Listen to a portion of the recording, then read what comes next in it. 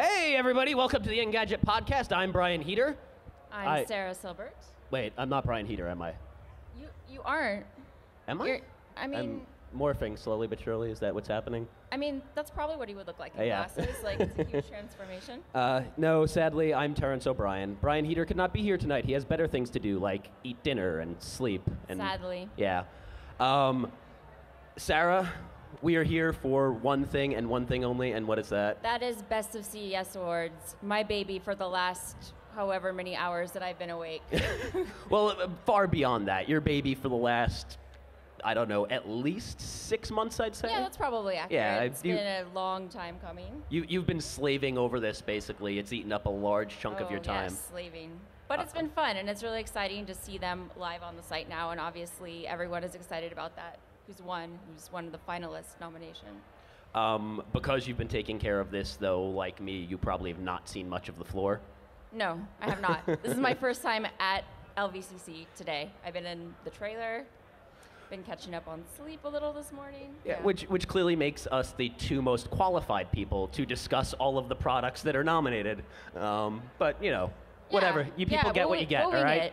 We have Deal people we it. trust that we're farming this out to, so, you know. Um, this is the, the award itself right here, right? Yes, it's 3D printed. It's, it's, It it's is pretty the sweet. new Engadget logo. it is. I'll, I'll, t- I'll talk while you, you, you do the whole demonstration. You open this thing up, and we've got the little logo design on the inside, and, you know, it's a logo. That's about all I can say about that. And around the back, the best way to predict, I can't read, the best way to predict the future is to invent it.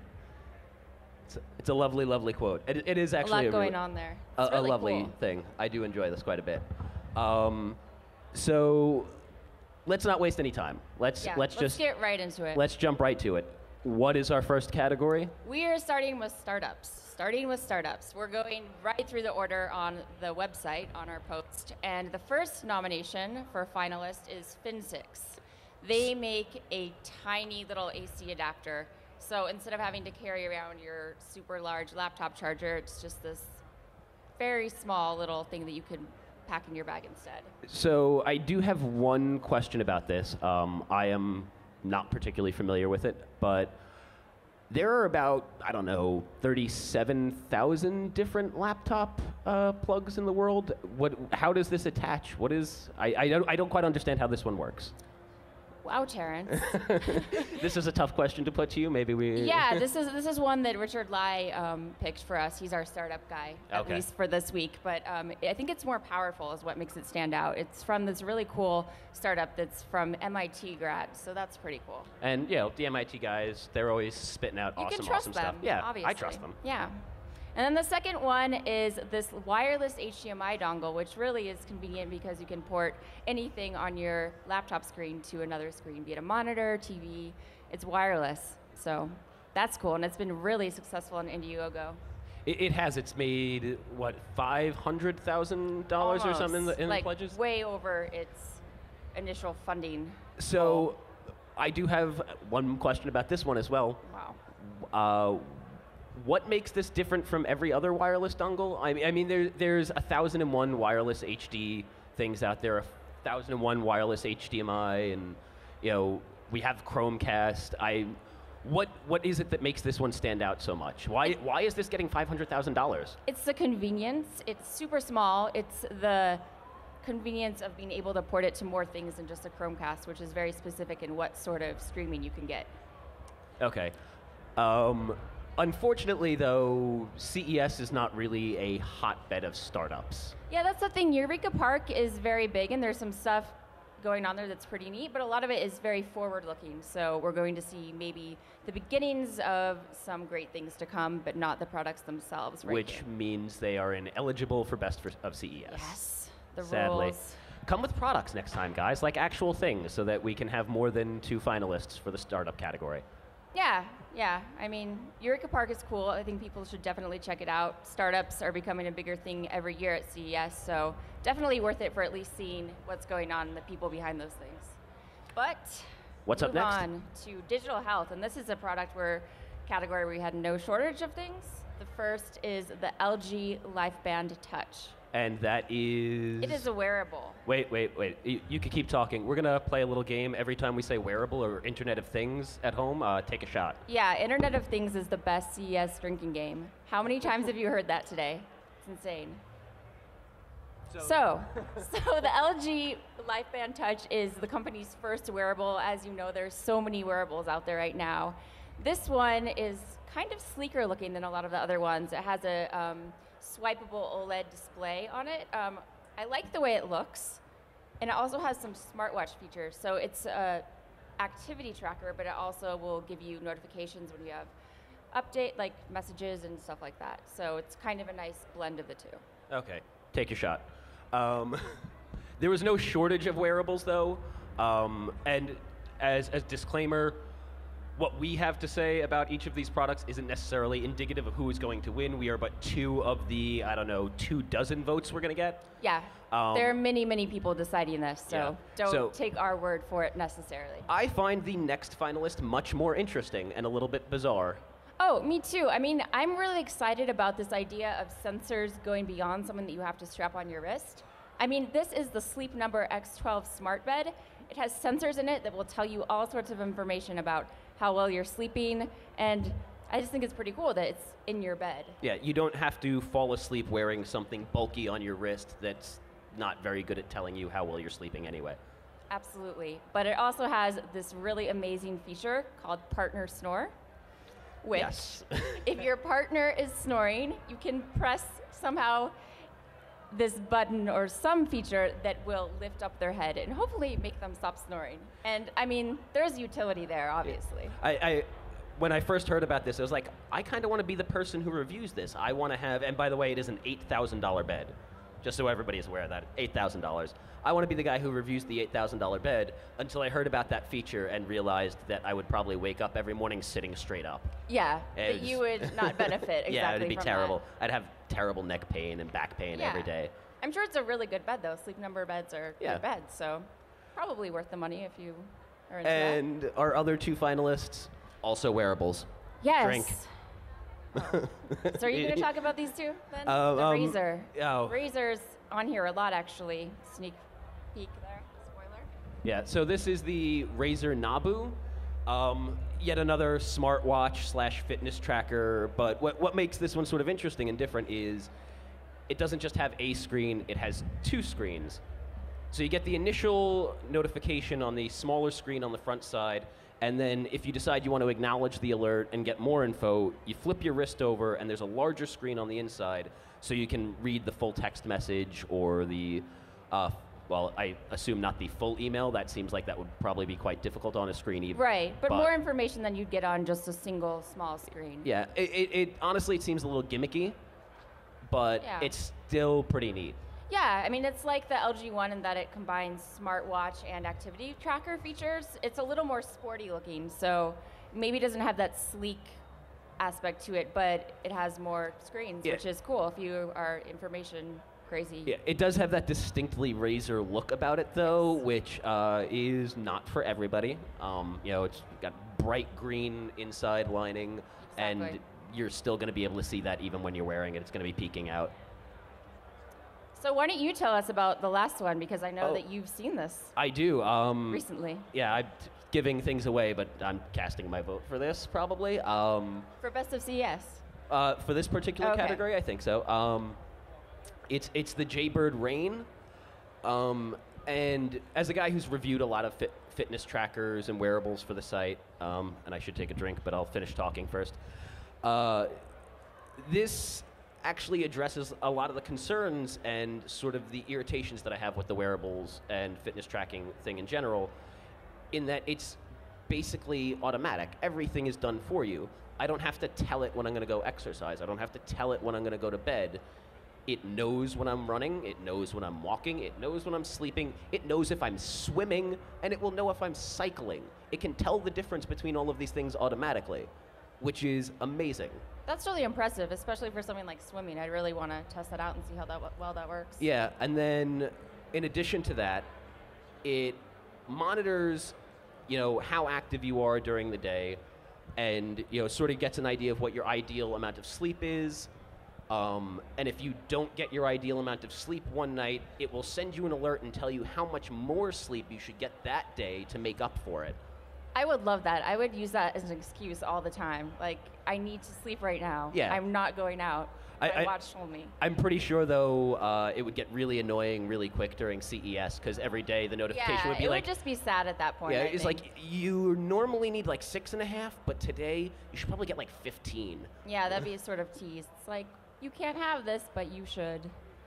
It's also two pieces, right? Yes, um, it's sort of clasps together uh, with magnets, although it doesn't rely, rely entirely on the magnets. That just kind of holds it in place. There's two little clasps inside, which makes it a lot easier to get off and also makes it a lot thinner because you're not dealing with uh, you know an actual band like a watch band and uh, normal clasp and that sort of thing. So it's it's and it's crazy soft.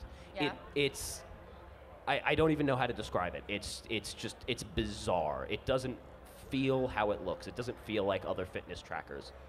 It's Sounds not like you're gonna get this. yeah. It doesn't feel like a stiff piece of plastic. Yeah. I I'm super intrigued by this. I want one. So it's a Jaybird Rain, two hundred dollars. Yeah, which is a little pricey, but Seems like it's good quality though. Yeah. It definitely stood out to a lot of people at Engadget, so definitely a top contender there. Moving on to automotive. I don't believe you or I are the top auto people at Engadget, but Uh, no. let's, let's pretend we drive cars in New York. um, well, I mean. this. At a previous job, I was the top automotive guy at the site, based purely on the fact that I owned a car. That's, mean- that- apparently that qualified me to be the auto in. New York, that absolutely would qualify. Yeah. So, Uh, but we'll do our best anyway. yeah. What's the first So one? the first is BMW Active Assist, which is basically very advanced um, system to prevent accidents. So if you're hydroplaning, it will take control of the car. You don't have to do anything. It will um, ideally get you back in control.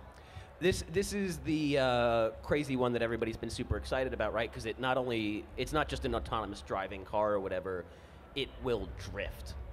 And I, I I don't know how much I trust a robot to drift my car, but people were really excited about this. This is, this is a thing that got everybody, not just us, like well, not us necessarily, but Yeah. people at the site really excited. The self-driving car concept is definitely exciting. And apparently, self-drifting is particularly Self-drifting, even better. yeah. Next, this is pretty crazy. I feel like I can't fully appreciate how awesome this is, but it's been conveyed to me the Corvette Performance Data Recorder. It's basically a ton of information about how well you're doing if you're racing. It gives you all the stats you could ever want when you're on a track. I don't really know who this is made for.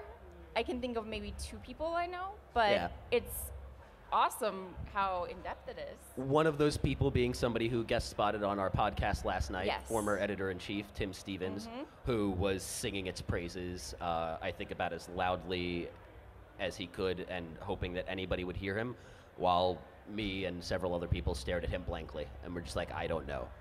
But yeah, it apparently it, it, it turns driving into a video game more or less. It just captures all sorts of information. I don't know why you'd need it if you're just driving around the neighborhood to go to the store. Yeah. Which and they're putting it in a production model car. Is the thing. So it's going to be in the 2015 Mustang, I believe, or something like that. I think that. so, yeah. Yeah. Um. Or no, no, no, no, Corvette, no, Corvette, Corvette. I don't know. There's there's something. Who knows? Yeah, but it has an overlay of your location and your speed and all of that information over a Bing map. So, pretty cool. Now, I've been told that that should probably win by people who know what the deal is. But I'm not going to lie. I like the next one better. This is awesome. This Tell is the it. the Cobra Jump Pack. I wanted to make sure I got that yeah, right. jump pack, jump pack. Yeah, jump pack. With one P to sound um, look yeah, it, better. it lets you jumpstart your car, which you know isn't a crazy thing. There's been you know portable things to jumpstart your car Yeah. forever, but it is super tiny. Like normally those things look like small generators. Right. They're you know this tall and yeah, they, they have this all sorts is of wallet size. yeah, it's it's a crazy, crazy thing. It's hard to do it justice uh, by simply talking about it Right. or even showing it. It's it's it's the sort of thing you can stash in a glove box and will save you in an emergency should you get stuck on the side It of the road or something. $130. It has enough power to jumpstart you a few times. I think. Like, Yeah. Pretty. That's- pretty cool. That's I mean, something I want in my car. Yeah. Like that's that's that's a if you have a car, thing. I think that's the most useful one of these finalists here. And then lastly, we have the Hyundai Blue Link, which I won't lie, I don't know anything about. It's some more in-car, te- in-car tech here. It's basically advanced navigation. Um, Verizon has the cell signal in there. Um, it costs $100 extra. Why? Oh, I thought you were drinking. I was wondering what the new word no, was. no, no, no. Sorry, I was taking a So- little bit of water to uh, cut the Okay. whiskey. Fair enough. So it's $100 per year for this navigation service, but apparently it's really good. So it's it, it's kind of like OnStar. It Is seems that- like it, but but more advanced and with Verizon pi- providing the connectivity. Okay, fair enough. Um, I guess that makes sense. I, I, I won't lie, I never quite got the point of OnStar, but It's come in useful a few times. Yeah? I think actually last year at CES, I remember being in the car with Zach calling them several times, and they're super nice and it works. okay. So No? you, you have you have had experience with it, whereas I have not. Yeah. And, and it was largely pleasant and useful. It was completely pleasant And and, this is a better version of that. Yes. Okay. So some utility there for sure. We're moving on to audio, which is another tricky, tricky category for Terrence and I because we have about three people on staff who are so hardcore audiophiles, and the rest of us take their word for it. Yeah. Do we even have that many? Like two and a half. We have James. Yeah, I was gonna say James Trew. Uh, oh, I guess yeah. Billy Yeah. Billy would probably be the half. I, Yeah. I'd say. No offense. Maybe Billy. like you John- and Brian create the other. I, I was gonna say John Tory. John Tory Yeah, kind of knows his that's audio stuff. Um, so yeah, uh, and and the first nominee is Astell and Kern, um, their AK240 personal media player. This is basically just like a crazy high-end like iPod, more or less. Yes. Um, like thousands of Yeah, dollars. how much? Do, do we have a price We on don't that? have the okay. price on here, but it's at least two thousand dollars. At least two thousand. Yeah. Why don't you look up the price real quick, and I'll ramble inanely about it. Um, I mean, it, it's it's one of these things that if you're not a crazy audio guy, it's hard to understand why anybody would buy this. Uh, if you're familiar with Vertu, the uh, cell phone brand, they make uh, you know absurdly high-end phones that cost many, many thousands of dollars. And up until recently, they weren't even smartphones; they were dumb phones. Uh, and this is basically the pers- the the personal audio equivalent of that. Uh, you know, it has dual uh, digital audio processors inside, um, and it has this really crazy, weird design and like a carbon fiber back. Do we do we have a price? Not finding a price, which Okay. is probably a sign that it's very expensive. That means that literally nobody here can afford it unless there happen to be any CEOs in the crowd. Yeah, Are they there want any you to CEOs love it in the crowd? first and then No? discover Cool. All right. how much it costs. No CEOs want to join us. John Legere isn't hanging back there. Yeah, we have an open invitation to John Legere if you know him. Yeah, Um, I, I, I sent him a tweet today. I told him to come hang out. I promised that he could crash the podcast. I wouldn't throw him off. He has, at least as of yet, not taken me up on it. I won't lie, I'm a little hurt. Yeah, we even told him that Macklemore was here, so he Yeah, must be really well, busy. that- We lied to him about that, though. I don't know. I know I think feel a little bit bad. He might. We were trying to trick him. Yeah, we well. he'd be happy once he was here. Yeah. All right, moving on, we have the LG sound plate. This is a very thin sound bar that has a 3D Blu-ray player built in, and it goes right under your TV. It's really sleek looking. The real standout feature here is the Blu-ray player. Yeah?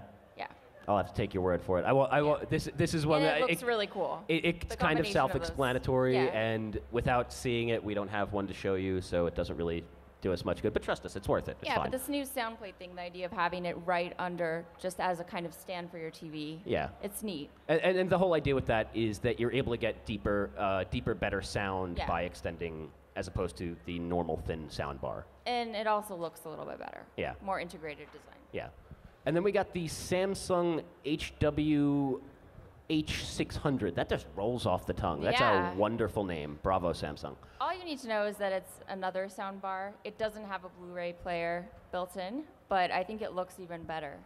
Does it, it- I won't lie. From the photo we've put up on the site, it is kind of Kind of hard looks to tell. like a vacuum. Yeah, it does a little bit. And the, the last one is the Clearview Clio, if I can see that. It's very hard from this angle. This is pretty much a see-through speaker, and the technology it uses basically distributes sound in a 360 degree um, space. So wherever you are in a room, you can hear it at an equally good level, and it's also see-through, which is pretty neat. Yeah, that's that's actually pretty awesome. Yeah. Again, maybe a little gimmicky doing the see-through thing, but that's pretty sweet. It looks really cool, Yeah, and the it- it looks 360 really degree cool. sound thing is actually kind of useful. Yeah. You don't have to worry about where you're positioning speakers when you invite people to come over and have an in- impromptu dance party. Yeah. Yeah, For a just- party, for a big room, a small You're always in an ideal location. Exactly. Uh, the next category is the best video product. Um, this is mostly TVs, I believe. Yeah. Yeah. It's almost completely TVs. Uh, and I can just preface this by saying that one of the coolest things I think at the show are the curved TVs that can switch between being flat and curved. Those are pretty awesome. And also addresses one of the things that I never quite got about the curved TVs, which is while they might look cool, they're kind of impractical if you have more than like two or three people sitting immediately in front of the television dead center. Right. You know, So you don't always need them to be curved. Yeah, and I, and I get it that you know when you get particularly big, if you get you know a hundred and ten inch TV, there there's going to be some you know loss of fidelity at the edges of the screen, Right. even if you're sitting dead center, because that's it's going to be at an off angle because it's just so huge. And the- the idea of curving it, I guess, is to minimize that. Right, to improve viewing angles. But if you're sitting slightly left of center, then you you are missing probably a portion of the screen, and this solves that by flattening out. Yes. And there was more than one of those. yes. Let's go a little bit out of order here. Let's be Yeah. crazy. Okay. So. Yeah. So Only one of those made our list, though. Yes, that was LG. Samsung had one, and that was maybe maybe a more memorable announcement because that was the whole Michael Bay walking off stage press conference. Yes. To kind of be a tie-in to the Transformer TV. But anyway, so Samsung had its own that at a, the push of a button would transform between flat and curved. But we actually like LG's version better because it's OLED, so better quality display. Samsung hasn't announced what theirs is, but um, seems to be LCD. Yeah. so- Uh, do they have OLED TVs? Even I actually don't know. Yeah, I believe they do. Okay. I, Richard Yeah. Lawler would be the person to ask that anyway. So many people we should have here. Yeah, I know. We should. We probably should have just had them all line up off stage and come on. That probably would have been much They better. were just really comfy in the trailer. rather than listening to my about to monotone get voice and rambling about how I don't know anything. oh, come on. Don't sell yourself short. All right, so let's go back to the top here, though. Yeah, so this is the only non TV thing. And I Yes. actually am not a TV owner, so I can't speak a ton to this, but it basically, the Dish Virtual Joey replaces hardware. It's an app on your smart TV that basically gives you the functionality of a set top box. It delivers DVR content, live TV. Which Am is- I getting that right? Yeah, That's- I mean, and that's that's great because who needs another piece of hardware in their house? Yeah. This gets rid of one more set of cables, gets rid of one more ugly piece of equipment that sits, you know, in your TV bench. Yeah, I'm all for the trend of streamlining how much equipment you need in your home theater. It looks a lot better, it's less of a headache. And it gives you enough room to squeeze good. that gigantic Xbox One in there. Exactly. Yeah. You have to prioritize. And then it's back to TVs. And then it's back to TVs. and Richard Lawler, um, our main HD guy, really liked um, the new Sharp Aquos Quatron Plus line, um, which is basically a lot cheaper than the company's 4K lineup. It starts at about $3,000. $3,000. Um, still very good quality display. Yeah, that basically That's explains that. That's all there is to that. There. And Um, then last- similarly, the Samsung 78-inch U9000 is it's curved. It doesn't transform, but it is curved. then I don't care. It's UHD. it's curved. Come on, Terrence. No, it's crazy. It's I crazy demand all of my TVs transform from now Yeah. on. Yeah, it's I like want no curved is non-moving already TVs. kind of not a big deal. It's crazy. All right. Well, another another category with not a lot of things at CES, and that's software. And it's interesting because the picks for this category are things that could fit in other categories Yeah. as well. Let's let's go slightly out of order here too. Okay. And let's start with the Sony PlayStation now. Let's start. Um, this is you know a, a streaming gaming service. It was formerly Gaikai, which is the, the company Sony Sony, bought. Um, you know, there there's there's still a lot of details to find out about it. Uh, but it sounds like they're trying to expand their gaming platform across all sorts of devices, and you know, I'm, I have no problem interrupting to Brian wave. Peter distracted us. You might as well. Yeah, bye. No. Um, okay. uh, I, I got a, I have an important appointment. Uh, I need to go watch Darren Murphy eat a hamburger Oh, over at uh, Vince Neil's grill. that is clearly much more important than that. Heater out. W- w- would you like to join us for a quick drink before you leave? All right, so uh, you can join us for a quick drink while I talk about Sony PlayStation Now. I, and- and again, this is a thing that's getting rid of hardware and getting rid of, you know, streamlining your living room home entertainment system. Right. Which, So you don't need a PlayStation S4. Let's get rid of the living room. yeah. Why? Why do we need? next Why do we need a living room? Well, we'll we'll get to that at some point. I, This is the Sony window wall. I Yeah, think. that thing. Um, and then the only other nominee, the only other thing we could think of that was even worth considering for software was WebOS.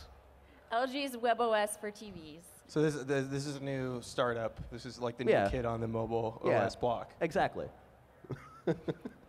This is, this is cool. This No, is I what mean, we, we want. We, we, we all love WebOS. We miss it dearly. Yeah. But Um, when it when it was when it first won a uh, Best of CES award back in 2009. One? Oh, Yeah. that recently? Yeah. By the way, how will bre- anyone ever know what kind of liquor this is? With the label Um, covered like that. I know. I- we actually had it in a paper bag. But Yeah, we were they we were would being not cl- let trying to us be keep it classy. This is that Las way. Vegas. Yeah. You just, just drink anywhere as long as it has a black black uh, tape over the label. Well, well, we figured they don't really like the whole branding thing. You know, Yeah. you got to be careful about that sort of stuff. it's make it's Maker's Mark. Yeah. Delicious Kentucky bourbon. Yeah. Um, anybody? WebOS on TVs. Yeah, you can keep talking about that. I'm going to take a drink now. WebOS on TVs. Uh, okay, so I, I, I am trying to figure out. I mean, Android is a very uh, a very scalable, flexible operating system. People are used to the UI. They've got it on their other devices. Surely, if you want your, uh, your your tablet or your smartphone to interact well with your uh, your smart television, maybe it makes sense to have Android on both of those devices. Yep. But why not WebOS? Here's what I'll say. Okay. Well, for other than the reasons that I just said, why Yeah. not iOS? Uh, here's what I'll say. I I I'm now living with television. Yes, yes, for, you for are. the first time in you you you've joined the and a half. uh, 20th century finally. yeah. It's kind of it's kind of like I've inherited it like an in-law. There is a television Yeah. in my apartment. Uh, it was a a smart television. Are you familiar with this class of device? Uh, I've, I've smart heard of them television? before. Vaguely, yeah. Uh, it is a smart television that is impossible to navigate through because you need you need a remote control. Yep. You need and you need to type using a remote control. Which is pretty much the most painful thing in the world. Uh, we, we we got a Chromecast as you do because it's thirty-five dollars And they're amazing. and they're amazing. Which I, I decided this year, by the way, that's something that's going to have to be in my uh, travel bag from now on. Like, that's a thing that I need to buy a Chromecast to take with me to the hotel and to bring to CES so that I can stop watching Netflix on my Here's the thing, Terrence. laptop. At some point, at some point, you've taken it too far, and, and I say that because I've got a hand blender in my hotel room right now, so I can juice in the morning. You've got a humidifier. yes. Uh, I got this little UV light that clips to the top of my. Well- well, Where do you stop? Where does it stop, Terrence? Where does it all stop? I, well, I mean, come on. The Chromecast is this big, and to be fair, I have the humidifier because I have to be on this stage, and I wouldn't have a voice by now if it wasn't for that. Do you need to drink more delicious Kentucky bourbon? I know.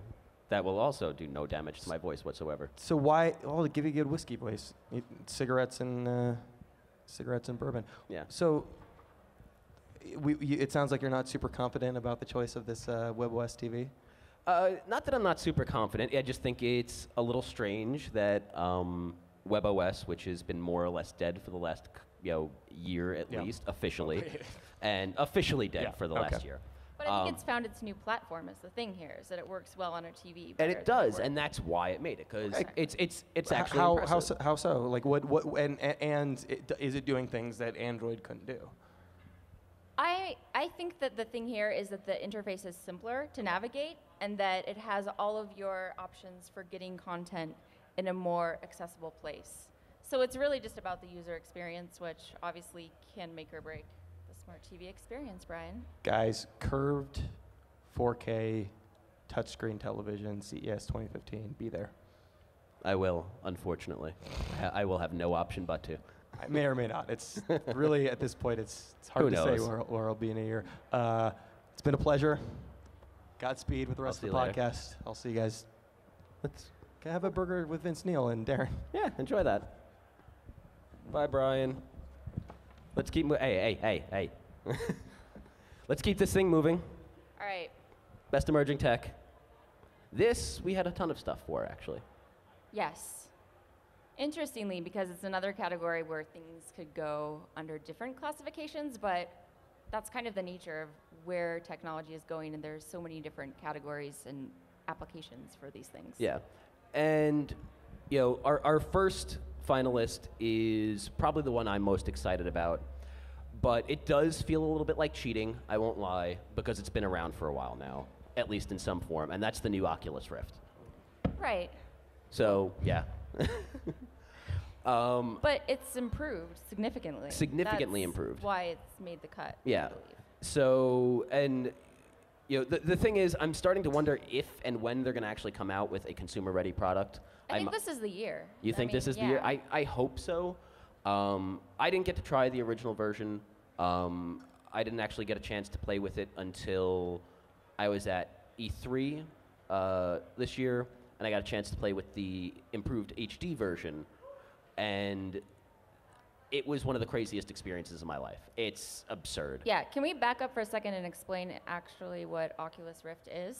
Okay, so Oculus Rift is a wearable VR headset essentially, and you know, it looks and sounds very much like the sort of stuff that was supposed to be cutting edge in the wave of the future back in you know the mid late 90s. Uh, The plot of Lawnmower Man, and the difference is this actually works.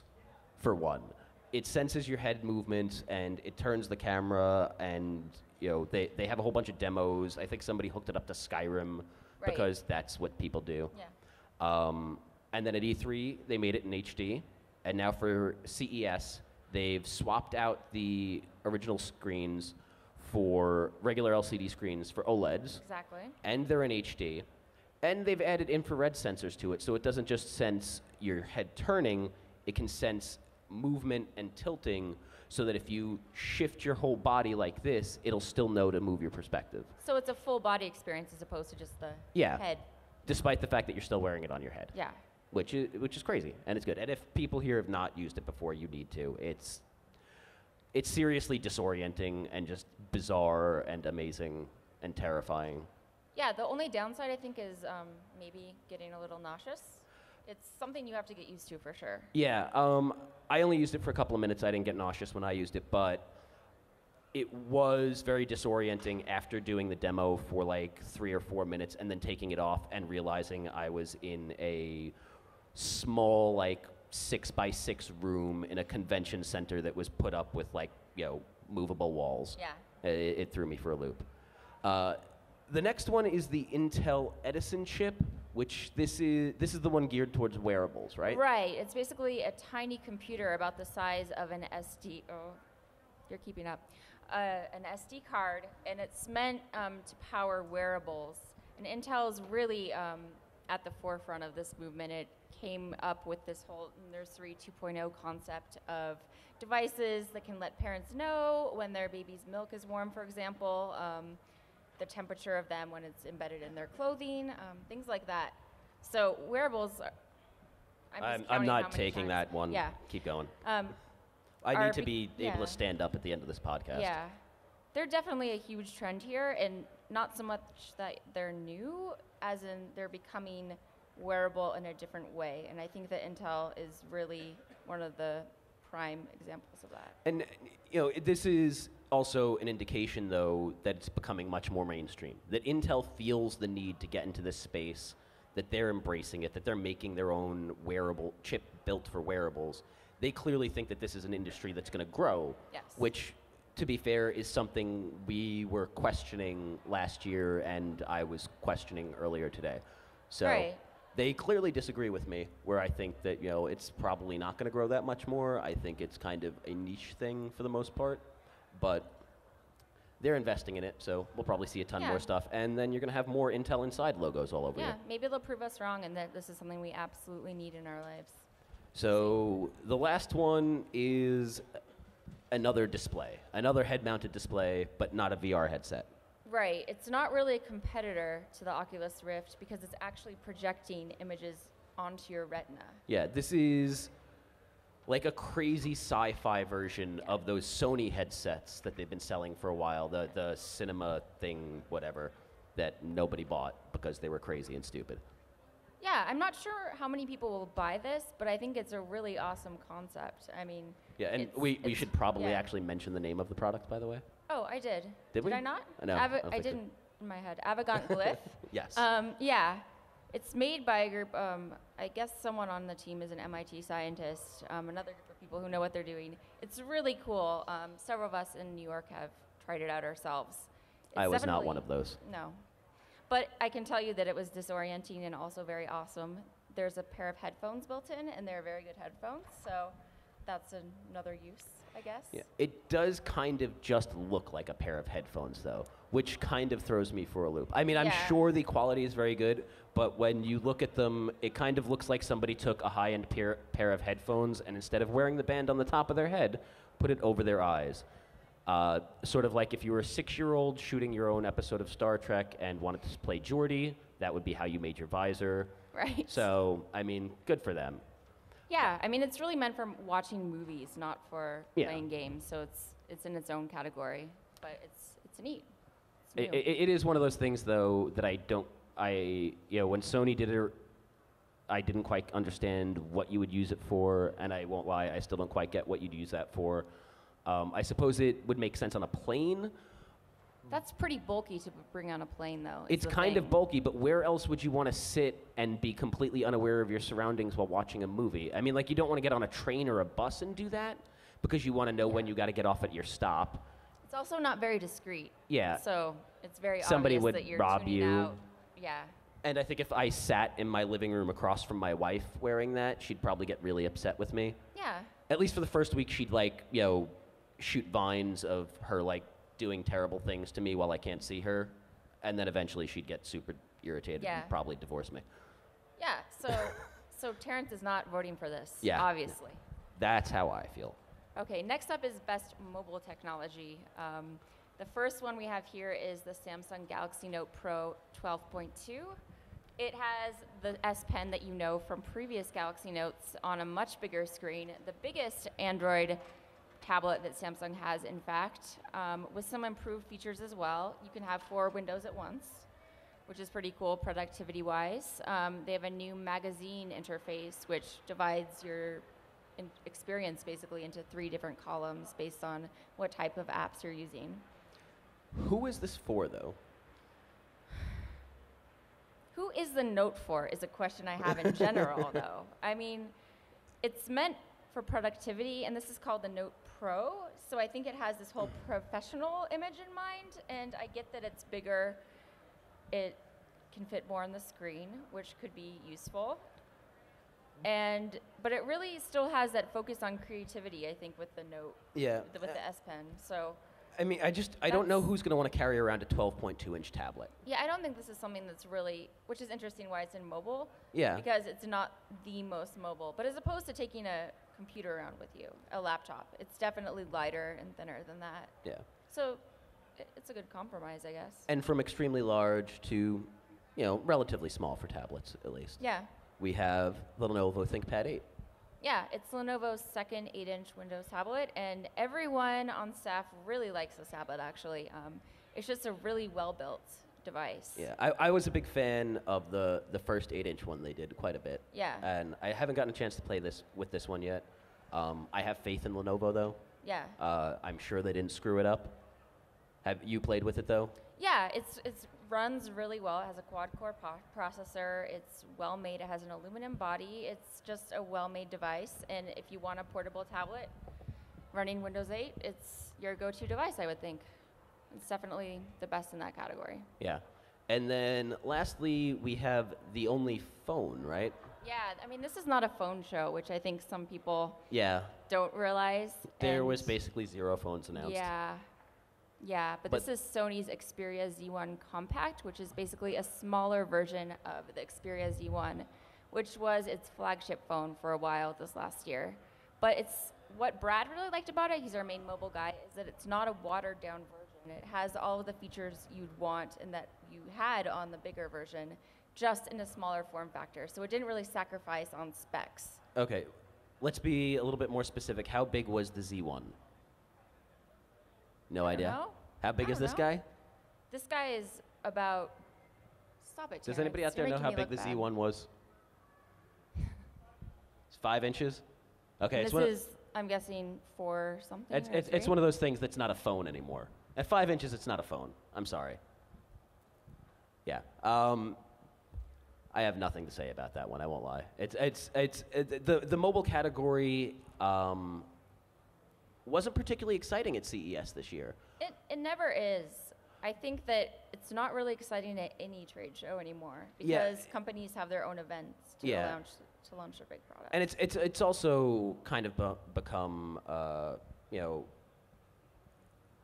very vanilla. Everything's the same at this point. The only thing that's differentiating anything is the brand skin. Um, Yeah. Everybody has their giant phone. Everybody has their smaller phone. Samsung has 37 tablets for in every shape and size.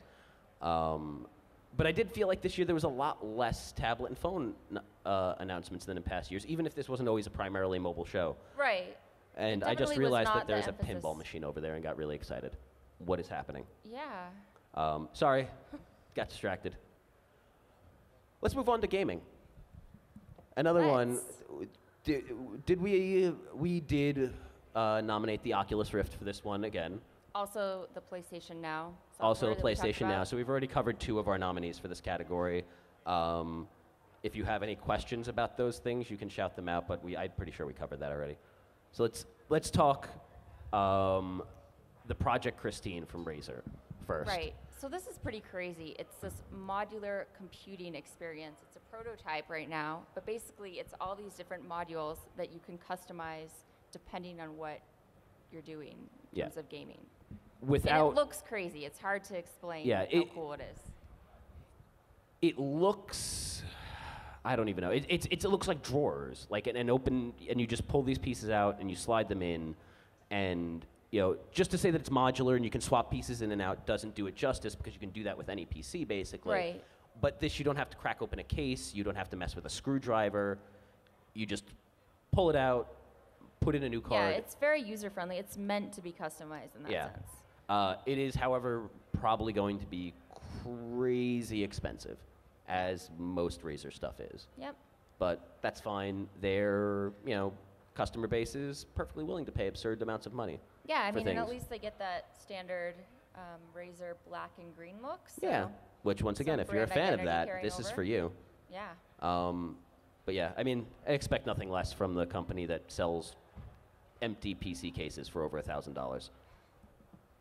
This I'm kind of excited about, but also slightly confused by. The Valve Steam machines? Yes. Yeah. Ben Gilbert, where, where are you when we need you?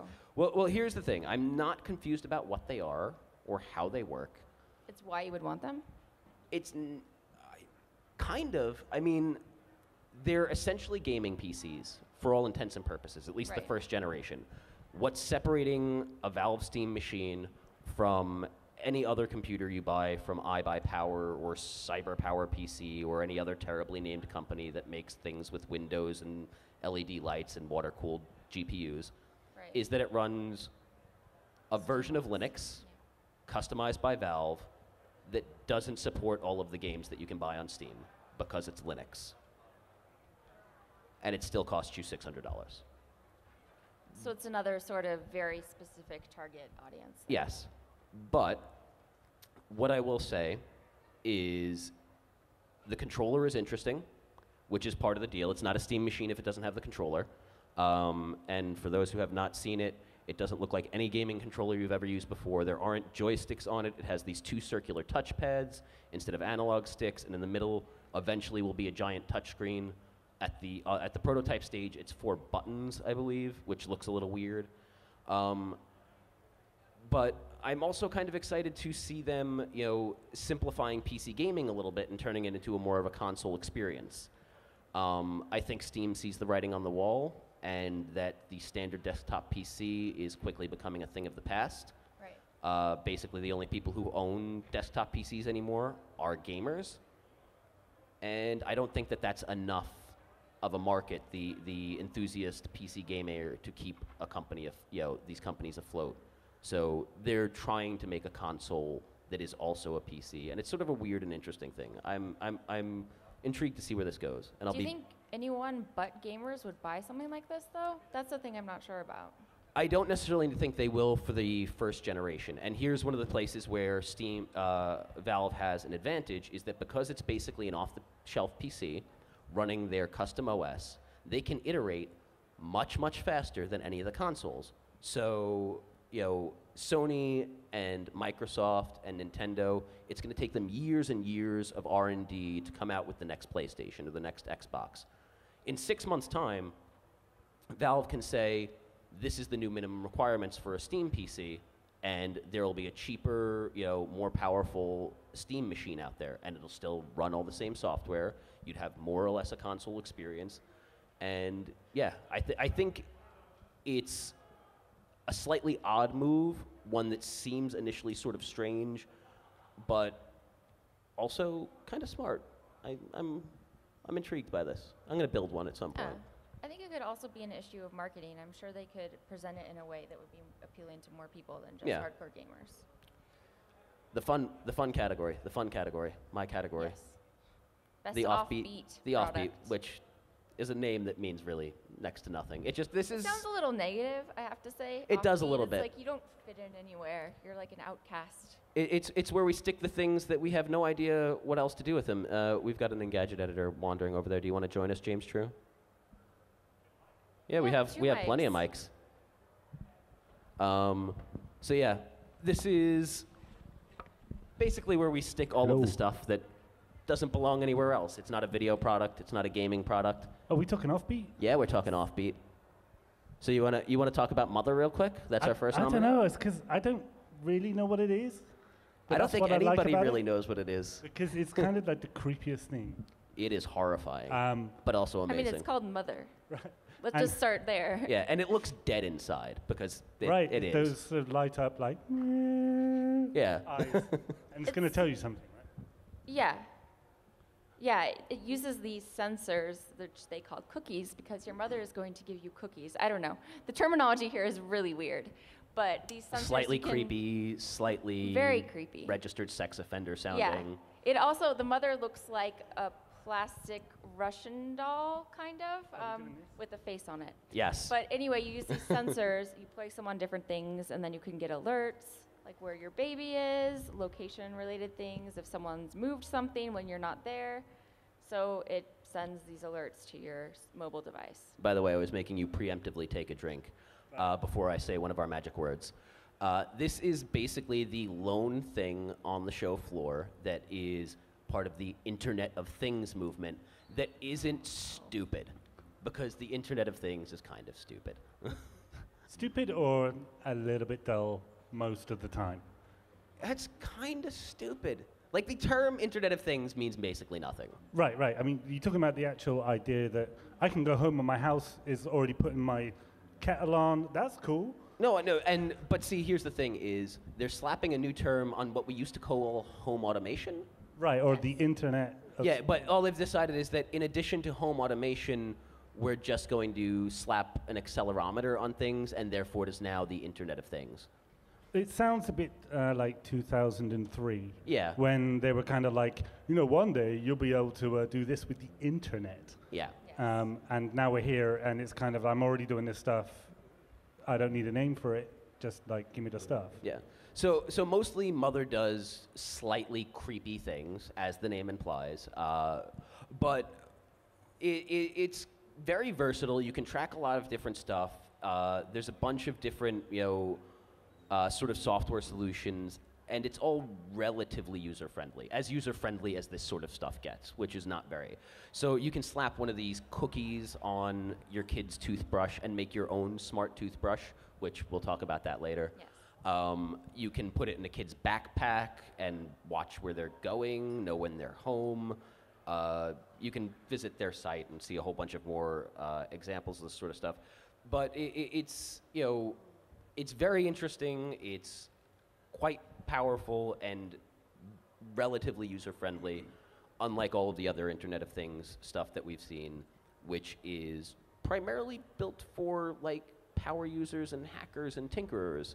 It's Right. not a cons- they're not consumer products. This is a consumer product. Thi- This thing kind of looks ripe for customization as well, doesn't it? You say it looks like a Russian doll. You know, like you should be able to get like I don't know, maybe I'm gonna a little Elvis mother, you know, or, yeah. So you- you're gonna buy one and put costumes on it and paint it up. yeah, or, or like it's white and blank. You could draw on that stuff, right? You can get get freaky with it. Joseph's just uh, You want to join us too, Joseph? No, you don't want to be on does. Everyone camera. look at Joseph right now. That, that, that's Joseph Volpe over there, everybody. Um, all right, so All right, yeah. next. We actually have to speed things up a little Do we? bit. What think. time is it? Yeah. Oh, we got, we got 10 minutes, so let's blow through this. Yeah. Next up is the parrot jumping sumo robot, and uh, had a little bit of trouble picking which one of the parrot ones we were going to do. Right. Ultimately, s- we settled on this I- one. I'm I'm sumo. I'm team sumo. For Your sure. team sumo? Right. The other thing that is really cool, but it looks like those wheels. I think just more look like partly wheels, partly bumpers. Yeah. Kind of so you can fly it into the wall and it'll kind of roll down. But you know, this thing jumps.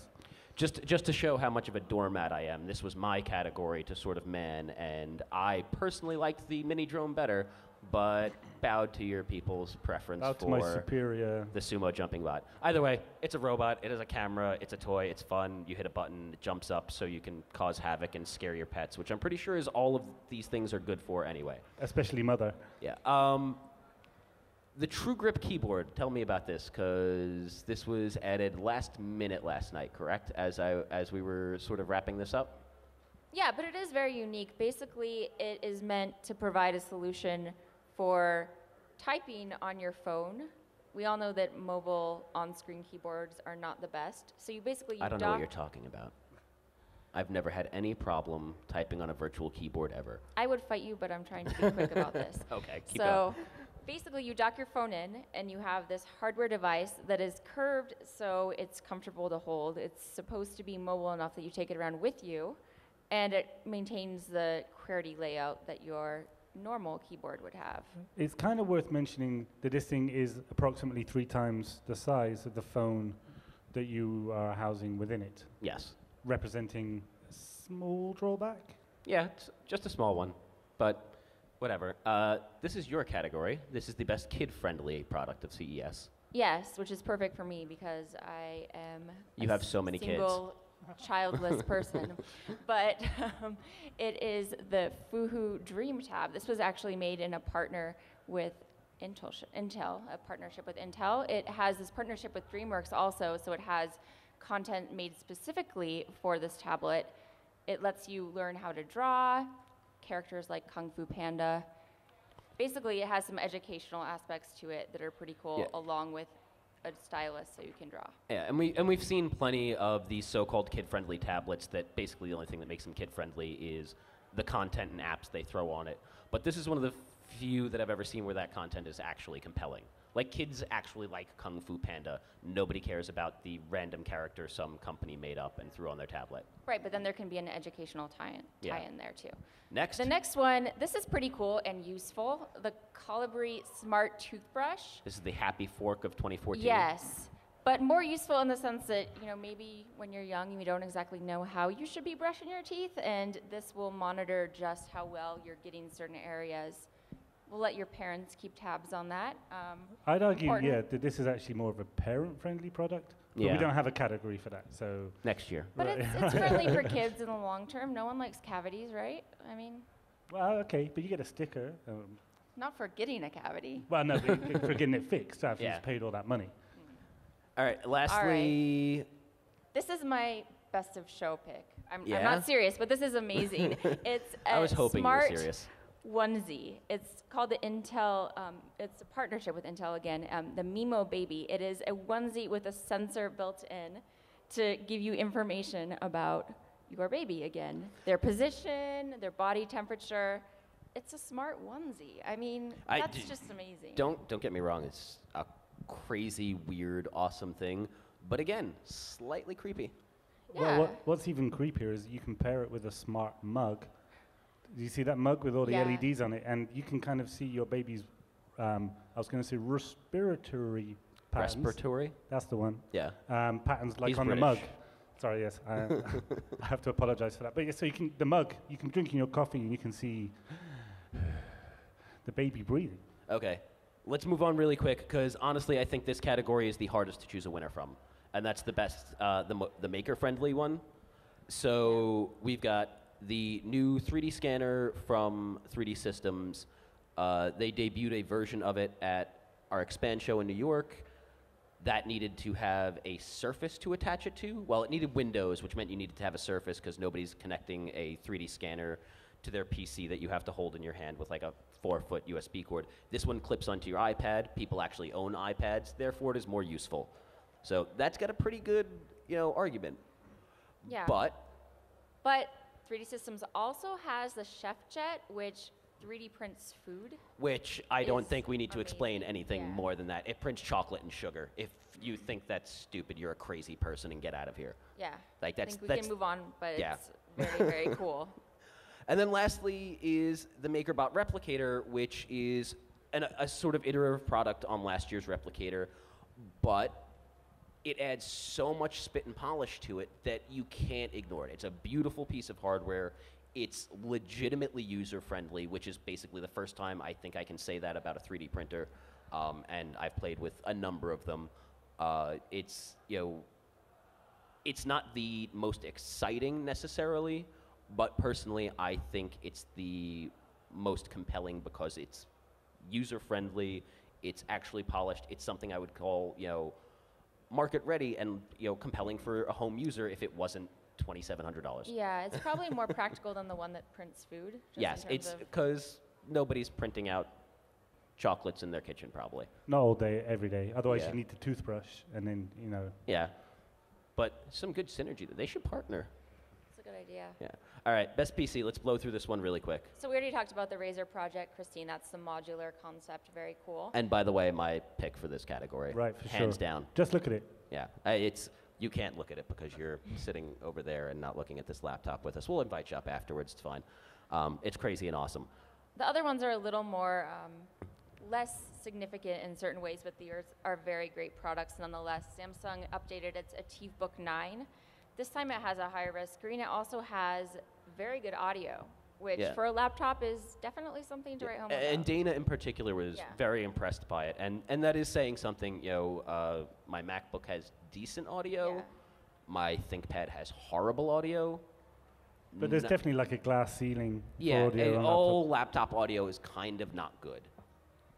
If that's that much more impressive, that's that's pretty great. Right, and then there's Lenovo, which you can speak to. Yeah. Um, once again, it's another iterative thing. It's an update on the uh, Carbon X1. It's not drastically different, but you know, it does have a higher res screen. It's got an adaptive keyboard, but it's it's just such a beautiful machine, and uh, ThinkPad keyboards are second to none. Like they're, they you can't beat them. You're, you- you're a ThinkPad. I am. guy, I am. right? I have a very strong ThinkPad bias. I will admit that whole very, uh, you know, upfront. Yeah. The thing about these things is that you might need a new laptop this year, and so these could be useful. They're not does. I exciting. definitely need my my Yeah. my seven-year-old ThinkPad that I've been using has overheated and shut down on me twice today. So And the lid How is old broken. Is Hmm? that? How old is that? seven years. Wow. I got that my second CES because my laptop that I owned died the week before. So yeah. Okay. Oh, that means I now know that it's been eight CESs in a row that I've done because my laptop is seven years old. I've been trying to figure that out all day. And this last Nice one, benchmark. are we considering this a laptop or? No, it's oh, a this desktop. is the PC category. okay, okay, yes. okay. It's the LG Chromebase. Um, LG brings the Chrome OS, which, as you know, is based on Google's browser, web browser. So it's a more simple OS. You can't do as much as you could with Windows 8 or Mac OS, but um, it's a 21.5 inch, all in one, basically. Um, I think it would be really good for using like in your kitchen where you maybe want to be looking at recipes, something like that. It's a nice all-in-one. I don't think it'll be too expensive. We don't have a price Right. yet. That's that's kind of the key, though, isn't Yeah. it? It, It's the sort of thing though that would make sense for like a uh, a college's computer laboratory or a library, you know, where you might not want to do Chromebooks because they can walk relatively easily, and you don't have to worry about viruses on these things. I, I mean, it's. I don't know if it's necessarily going to be a hugely compelling consumer product, but I think it certainly has its place, and it's You're you know, saying pretty like maybe exciting. hotel lobbies and museums Yeah. and stuff like that, where there's like you, when we when we come back in 2015 and check into the residence inn across the street, there's going to be a Chrome all-in-one sitting. Right, at the I can see this, or education, eh, like lots of lobby action, like the various buildings where public access to the internet. Yeah. So just very limited applications, but good at what it does, Yeah. which is internet-based. And, And that is it. that's it. That brings us to the end of the list. Um, thank you for bearing with us. That was a lot to get through. Um, thank you, James, for crashing. That's okay. I saw Thank you you. guys were way back over in the trailer like a couple of hours ago. Yeah. It seemed like I don't know. It, Maybe it's felt like decades. Yeah, it's been a long day. But as you've listened to all of this, please go to Engadget and cast your vote. We have a People's Choice category, so you can pick your favorite of all these gadgets, and that will be awarded to the one. Bias. And coming up next, we've got the mobile podcast, right? I believe so. I believe so. Okay. So stay tuned for that. Thank you for watching, everybody. We're out of here.